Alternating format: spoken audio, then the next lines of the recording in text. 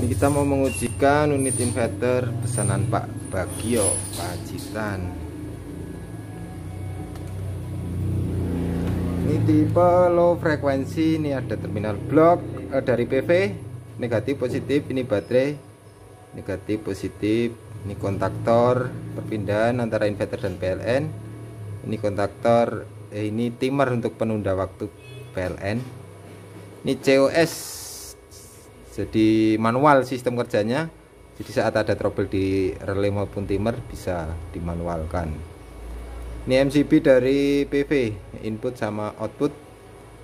Ini MCB DC ke inverter ini MCB inverter MCB PLN yang ini adalah setting LVD untuk kontrol ATS nya ini kita simulasikan tegangan baterai bawah 48 yang atas 42 jadi saat tegangan baterai menyentuh 48 dia akan berpindah ke PLN saat nanti tegangan baterai menyentuh angka 52 dia akan berpindah lagi ke inverter. Nah, ini tegangan baterai.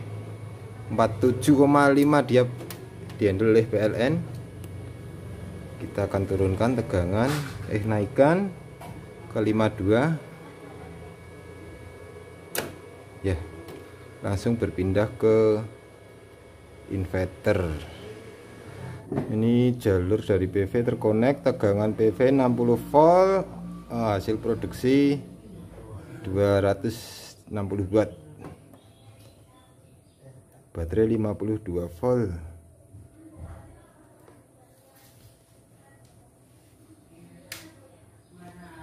Beban ini pak bebannya 1000 watt 1200 beban PV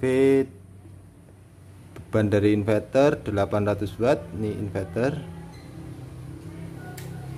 Tambah lagi. Beban 1800 watt. Tambah lagi. Beban 2700 watt. Tambah lagi. 3800 dia limit. Hmm, melebihi Jadi, ya, melebihi ya? batas 5 detik dia akan on lagi. Ini BBM berkedip. Nah 5 detik on nah udah on. Tegangan kembali stabil.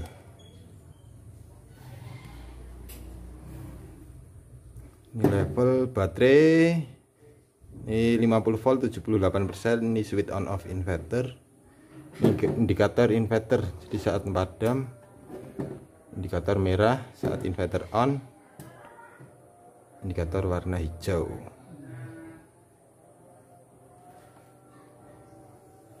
Seperti ini.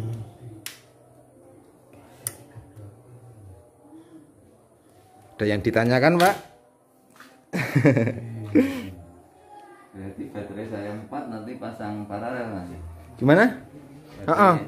baterai dibikin 48 48 volt volt jadi di seri baterai 4 biji hmm? seri atau baterai? Ah, baterainya di seri, ya, di seri ah, kan satu biji ya, ya, 12, 12 volt, volt. Hmm. jadi 48 ya 48. terus ini tadi paling di setting berapa tadi? itu di setting 48 dia Mas ini ini kan MCB off dulu nanti untuk uh, instalasi pertama. Oh. MCB semua turun. Uh, baru dipasang. Uh, pasang jalur input uh, ke beban ke baterai, ya, semua dipasang. Uh. Baru MCB dari baterai di on kan. MCB PV yuk juga on. Seperti itu. Nah ini untuk settingnya udah tak setting ini di 48 nanti bisa diubah-ubah jadi 48 dia pindah ke PLN jadi nanti medot jalur dari meteran yang ke rumah sudah dipedot sudah dipedot oh, jadi tinggal masuk ke situ itu jadi nanti kalau masangnya dari PLN PLN dimatikan dulu juga Nggih, amane. ini semua juga mati. Off semua. Nggih, off mawon. Oh. Daripada resiko ya. Iya. Daripada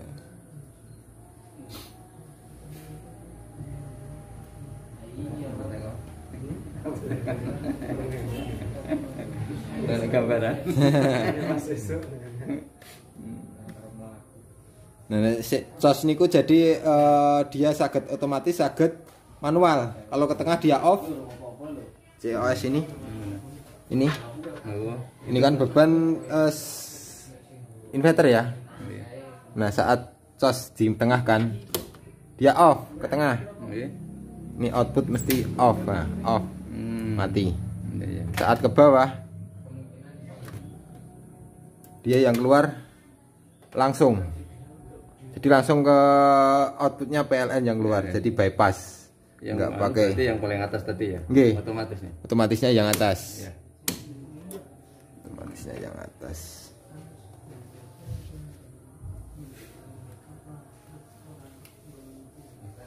Nanti pasang semua ini diturunkan, off kan semua termasuk inverternya juga.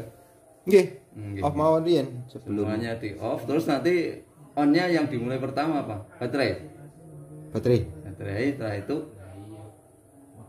panel atau urutannya atau bebas Bebas sih, Pak. Yang penting pokoknya di baterai. di baterai ya. Nggih.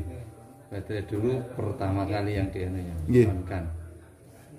Baterai dulu.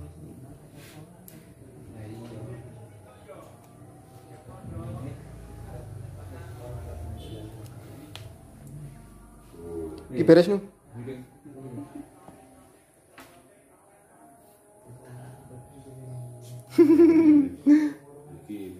Wah. Yang putih. Trayu asing lurus. Pripun? Iku kan isor iku wonten lampu tenaga surya 10. Bisa putih. Nah, jenengan dari jalan transit.